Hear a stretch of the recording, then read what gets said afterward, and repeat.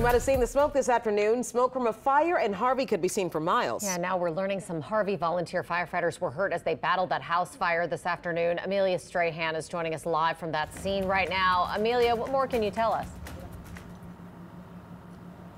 Well, Harvey's fire department was able to put out the last of those flames.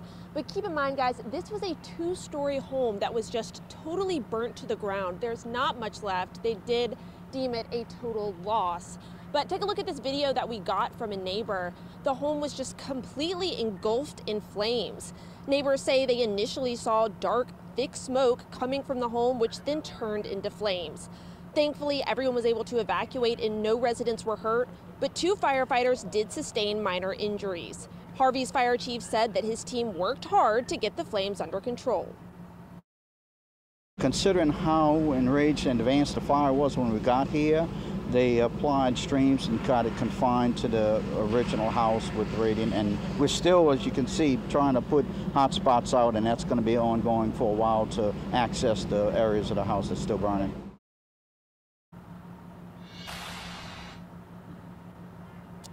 And the fire department is still on the scene trying to figure out exactly what caused this fire. Reporting live from Harvey, Amelia Strahan, WWL Louisiana. Thank you, Amelia.